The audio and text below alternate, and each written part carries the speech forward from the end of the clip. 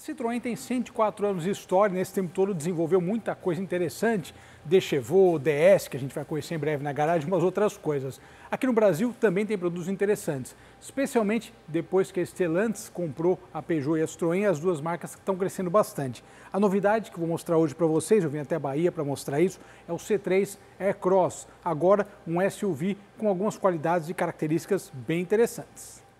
Saudações pessoal, olha só que interessante, SUV Citroën. A gente sabe que o Aircross foi um modelo vendido aqui no Brasil, uh, na época ele usava 1.6 16 válvulas, só tinha opção de câmbio manual, é um outro período do mercado sem dúvida nenhuma, mas a Citroën, como eu falei na cabeça do vídeo, com o Citroën e Peugeot, aliás, com essa fase estelantes, estão crescendo bastante, criando produtos novos e, sem dúvida, lançando algo que está agradando os consumidores, inclusive pensando em fatias de mercado que são bem disputadas. Aliás, quando a gente fala da, da Stellantis, enfim, tem vários produtos que competem entre si com marcas separadas. Mas uh, a Citroën, sem dúvida nenhuma, ela renasceu aqui no Brasil com tanto o C3 e agora com o C3 Aircross, que é uma, a grande novidade. A gente sabe que aproximadamente 25 a 30% do mercado atual é composto por SUVs. Esses utilitários alguns menos utilitários que outros, realmente acabaram tomando conta do mercado e o gosto do público também. Ou seja, qualquer marca que hoje em dia queira estar no mercado e, e é, vender números né, relevantes tem que uh, partir para esse tipo de, de carro, para esse tipo de plataforma. Falando em plataforma, antes de falar do design, ele usa a plataforma CMP, daqui a pouco a gente vai andar, eu vou comentar um pouquinho sobre a dinâmica. E essa plataforma CMP também, é, ela tem algumas características interessantes, né? além da, dessa divisão, essas multiplataformas elas acabam deixando com que vários modelos tenham a mesma plataforma e o desenvolvimento disso também é bacana nesse sentido técnico. Na apresentação que eles fizeram aqui, você nota, é um SUV pelas medidas até em relação a concorrentes, uh, coisas que tem em comum com o C3 segundo foi apresentado aqui, basicamente as portas, o capô e o vidro dianteiro, o restante é bem diferente. Inclusive, uma coisa bacana que foi apresentada aqui é a questão da estrutura. Estruturalmente, aços, aquela coisa toda que a gente gosta também, a tecnicidade da apresentação, crash test e tudo mais.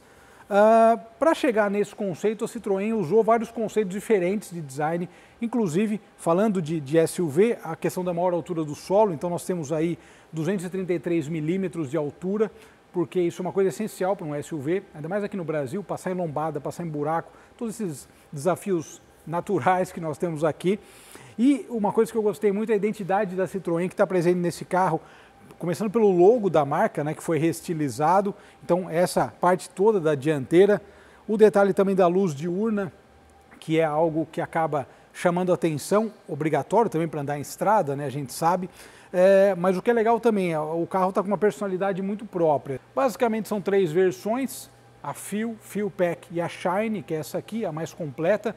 Inicialmente a Citroën está apresentando aqui a versão de sete lugares, mas é, ela vai começar a ser vendida posteriormente. Atualmente, o que vai começar a ser vendido agora é, são essas três versões na configuração de cinco lugares. Essa aqui é a mais completinha, claro, né? eu comentei da distância do solo, olha que bacana. Ela tem uma altura realmente, né? um centro de gravidade um pouquinho mais elevado também por conta disso.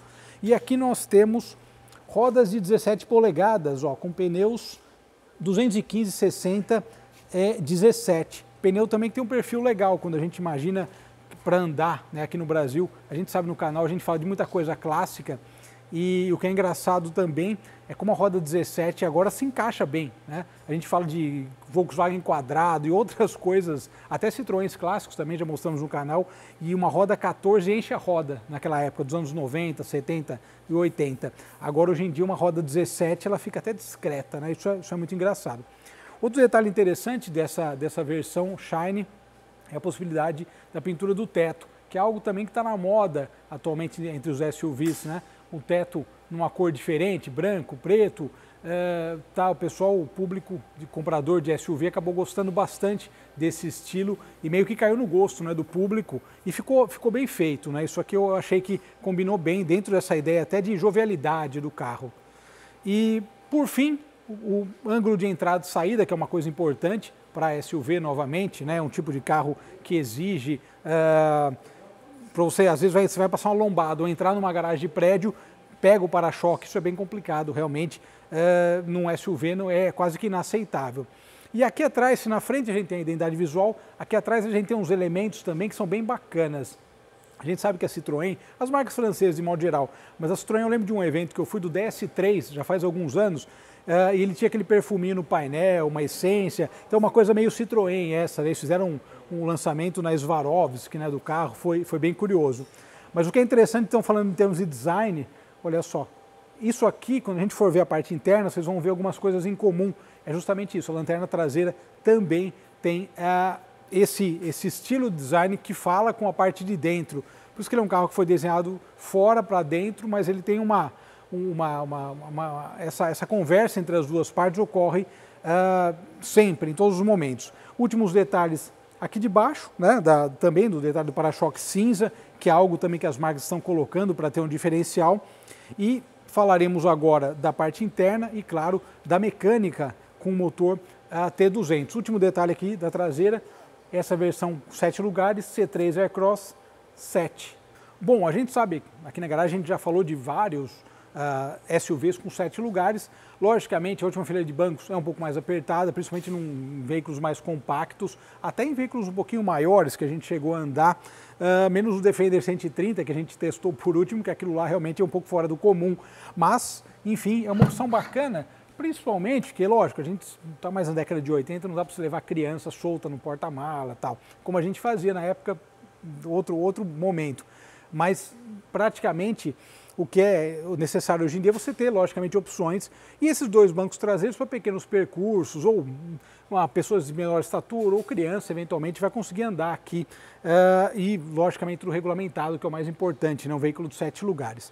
Mas a sacada da Citroën, isso que eu achei interessante. A gente está vendo aqui embaixo até a, a, litragem, né, com e sem os bancos, e ele tem uma opção que a, acabou sendo diferente a, dos concorrentes, o que a gente tem mostrado nesse tempo todo.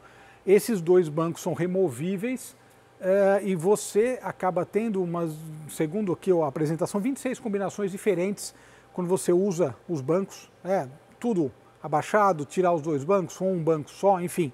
E é bem simples, cara. É, eu achei interessantíssimo como é simples o procedimento para tirar o banco, né? Ou seja, o banco também não é pesado.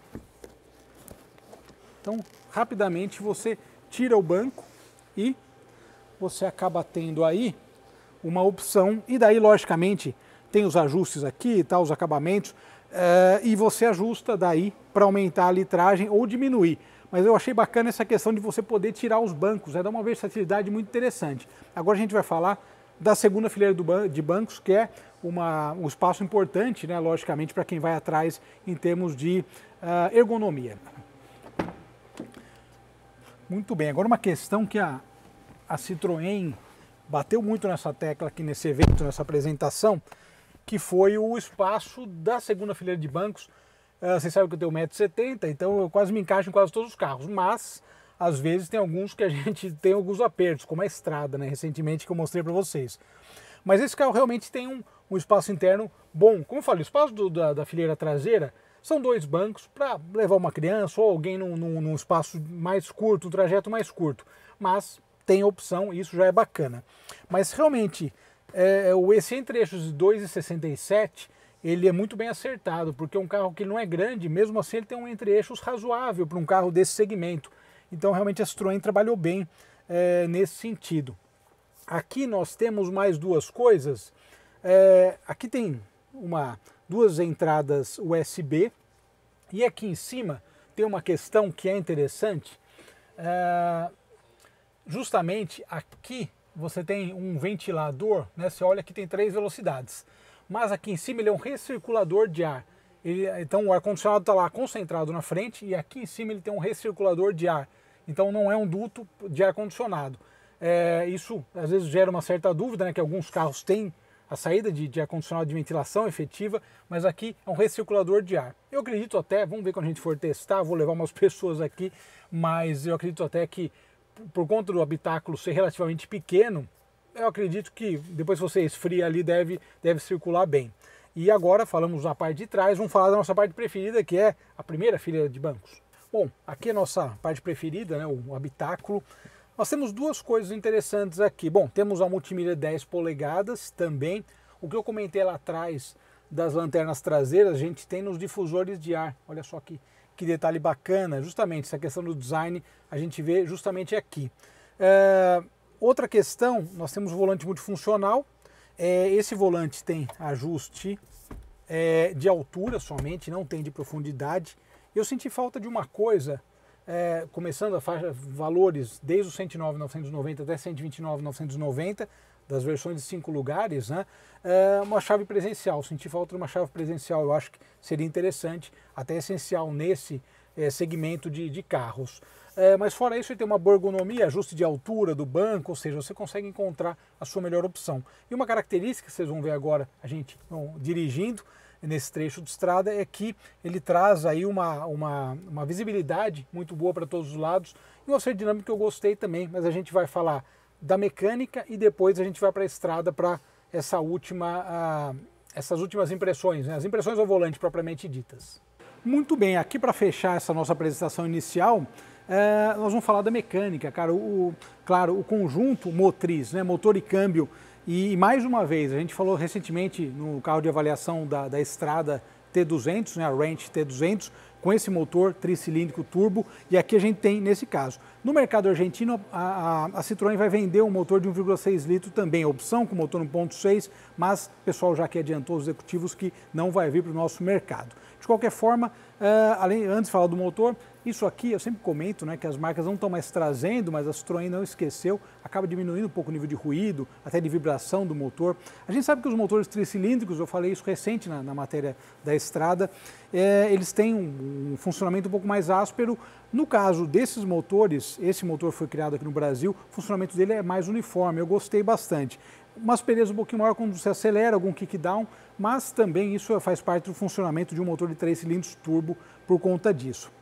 E, logicamente, aqui, 3 cilindros turbo, 130 cavalos com etanol, 125 com gasolina, 20,6 de torque e, novamente, bom acerto do turbo com o câmbio CVT que finalmente encontrou o seu par aí mecânico que o pessoal sempre reclamou ao longo dos anos. Agora a gente vai ver um pouco disso nessa primeira avaliação, as nossas primeiras impressões vão para a estrada. Muito bem, pessoal, começando nossa avaliação aqui a bordo do novíssimo C3 Aircross SUV, né, um SUV da, do C3. O Aircross já foi vendido aqui no Brasil e, como a gente sabe, foi um, um modelo que até teve boas vendas na época, mas agora ele chegou realmente completamente renovado, diferente do que a gente estava acostumado a ver e a Citroën e a Peugeot, essas duas empresas, elas acabaram crescendo bastante é, com essa, essa aquisição da Stellantis. O grupo Stellantis ele fez com que essas marcas realmente crescessem bastante e tivessem uma, uma importância, um reconhecimento e principalmente uma fatia de mercado que antes estava meio inimaginável aqui no segmento. A fábrica lá em Porto Real né, no estado do Rio de Janeiro, produz esse carro, produz o C3. O C4 Cactus é um carro que continua no mercado também. Ele teve uma, passou por uma mudança recente na parte interna. Ou seja, a Citroën está com a apresentação aqui foi bem interessante porque eles mostraram como a marca está é, não só a questão do comprometimento com a fabricação dos veículos aqui, né, ou lá em Porto Real, né, que a gente está na Bahia, mas é, aqui no Brasil, né, de maneira geral, mas também essa questão, de, como eu falei, a, a Stellantis, ela acabou criando ah, com, com, os seus, seus braços aí, essas outras empresas, é um grupo de empresas, mas eles acabaram conseguindo ah, ter uma, uma, não só a percepção de mercado, uma a quantidade de vendas é o chamado share do mercado, ou seja, um domínio de segmentos do mercado bem, bem interessante e com marcas próprias. Isso que é interessante também. Que a gente fala de SUV, por exemplo, os SUVs já correspondem a mais de 25, 30% do nosso mercado automotivo. Então, quando você pega uma marca é, focada, né, como a Stellantis, que tem várias marcas debaixo desse guarda-chuva, você tem SUV compacto, uh, Renegade, que já foi líder de mercado e está aí na briga. Você pega o Jeep Compass, que é o líder do segmento dos SUVs médios. Ou seja, eles têm vários nichos explorando marcas diferentes dentro do grupo que conseguem bons resultados. E o caso da Citroën é um deles também. Né? Se a gente for analisar, a Citroën e a Peugeot eram marcas que estavam uh, bem uh, esquecidas aqui no Brasil uh, por uma série de fatores e também porque, enfim, muitas vezes o público pega com determinados carros e aquilo acaba queimado, às vezes é problema de assistência técnica, tem uma, uma série de fatores que justificam isso. Mas eles renasceram a questão do uso do motor é uma delas. Esse motor de um litro tricilíndrico turbo é um motor que tem boas qualidades, foi um motor desenvolvido aqui no Brasil, ou seja, um motor que equipa vários modelos diferentes. Você vê C3, o Aircross, o Peugeot, a Estrada T200 que a gente conheceu uh, recentemente né, no, no, no, canal, né, a versão Range T200. Ou seja, eles conseguiram é, desenvolver um motor com boas qualidades, é um motor que ele tem um, um acerto legal. Por exemplo, aqui mesmo numa estrada de pista simples, né, que a gente vai vai vendo aqui, os caminhoneiros antigamente davam um sinal, né, de agora nem dão. Eu lembro quando era criança viajava muito com meu pai. Eu sempre lembro dessa característica dos caminhoneiros.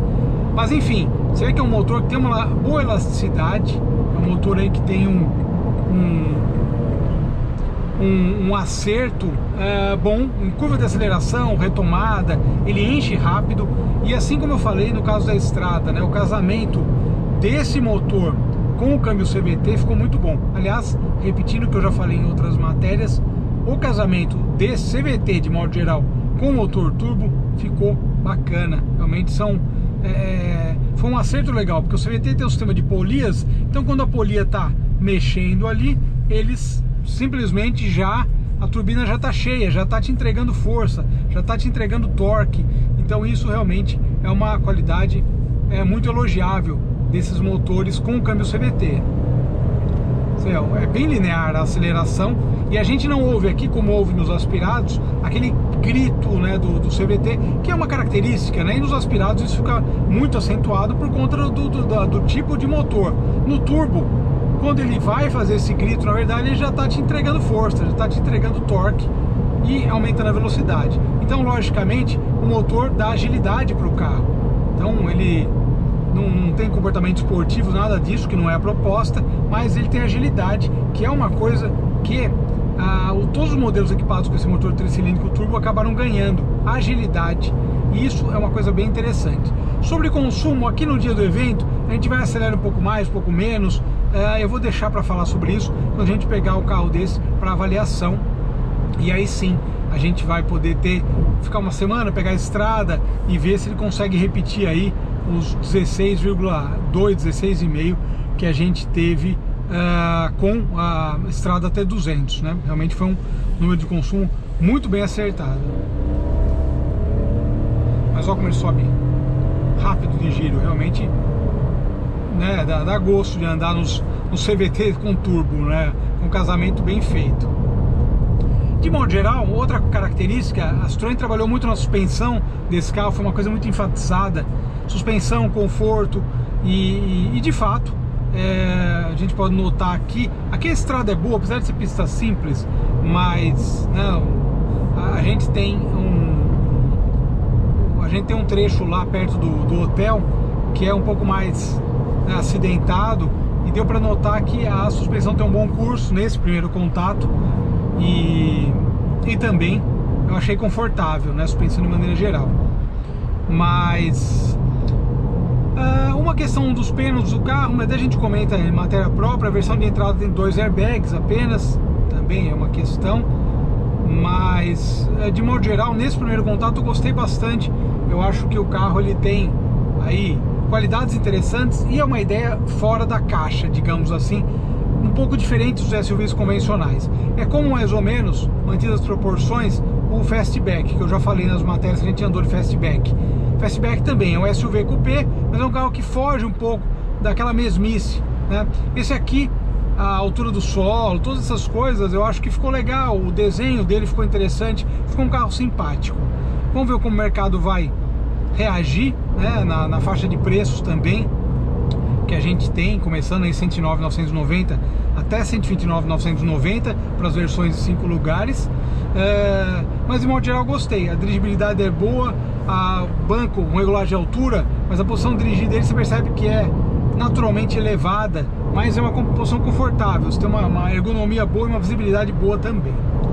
E é isso aí, já vou voltar aqui pro hotel, quando a gente pegar ele a gente faz aquela, aquela avaliação com os detalhes de consumo e tal, é, e viajando lá em São Paulo e tal, e falando das características que a gente conseguir a mais né, nessa vivência aí do, de, de passar um tempo com o carro. Olha outro vindo aí. Obrigado pessoal, Grande abraço. Nos falamos. Até mais. Tchau, tchau.